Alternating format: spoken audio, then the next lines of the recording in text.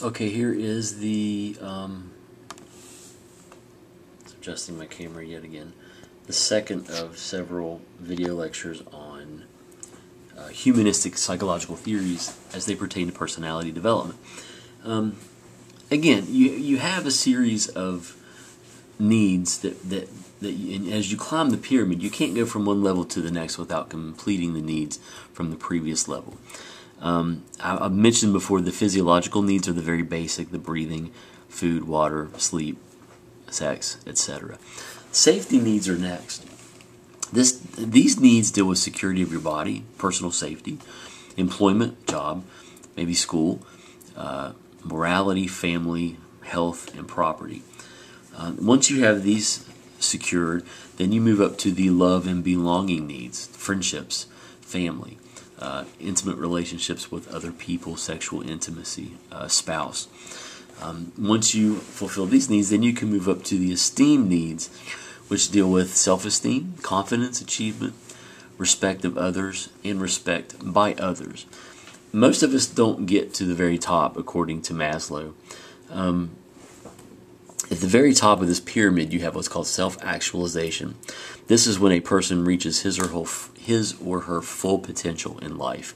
I don't think any of us probably can say that we absolutely have reached or will reach our full potential, but maybe some have. Uh, some speculate that, that individuals like Eleanor Roosevelt or Abraham Lincoln, for example, have, or Winston Churchill, have reached their full potential in life.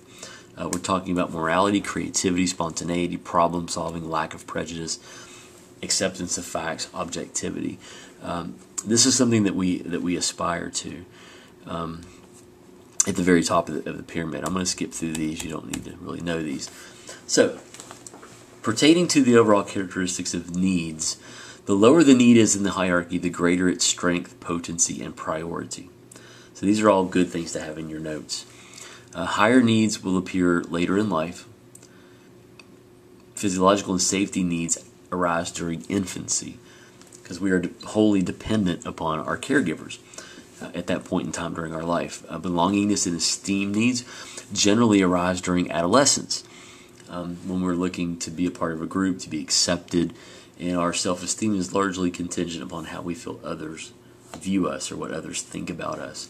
The need for self actualizing doesn't arise until the middle of life. So this is kind of how these needs work according to Maslow, and certainly our personalities develop in accordance with with how we fulfill or don't fulfill these needs. Now, because higher needs are less necessary for actual survival, we can gratify, or rather, we can postpone the gratification of these needs. You don't have to have good self esteem or high self esteem to live, to survive, but you do need food and water. So those higher needs are less necessary to actually survive, so we can put those off. Failure to satisfy higher needs does not necessarily produce a crisis. So if you don't ever achieve self actualizing characteristics like self esteem, um, objectivity, lack of prejudice, for example, not necessarily a crisis situation. However, failure to satisfy these lower needs does produce these crises. Um, and the lower needs are collectively referred to for this reason as the deficit or deficiency needs. It's important to know. Although the higher needs are less necessary for survival, they contribute to personal growth. Satisfaction of these higher needs leads to improved health, happiness, contentment, fulfillment, longevity, and these higher needs are subsequently referred to collectively as the growth or being needs. Uh, there's research that, that shows that you know people uh, who are happier, who are content, um, who have greater self-esteem. Uh, they um, they are happier, healthier individuals. Um, gratification of the higher needs requires better external social circumstances, economic circumstances, and political circumstances than does the gratification of the lower needs. So simply, if you are born into an environment, a social or physical environment that does not give you opportunities to, to go to good schools or to be nurtured or to be exposed to nourishing and healthy components of life, um, then your chances of, of gratifying those higher needs goes way down. Um, and that's just a simple fact. So sometimes just being lucky enough to be to be born into a, a good, positive, nurturing environment makes the difference in whether or not a person will achieve these higher level needs or not. Um, a need does not have to be satisfied fully before the next need in the hierarchy becomes important. Actually, I had said earlier that you have to satisfy all the needs before you move on.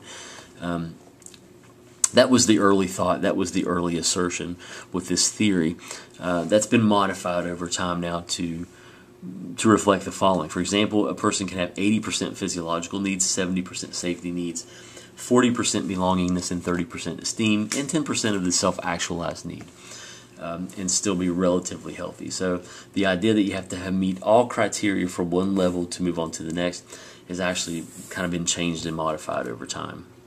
So the humanistic approach to psychology is represented largely by the works of Maslow and Rogers.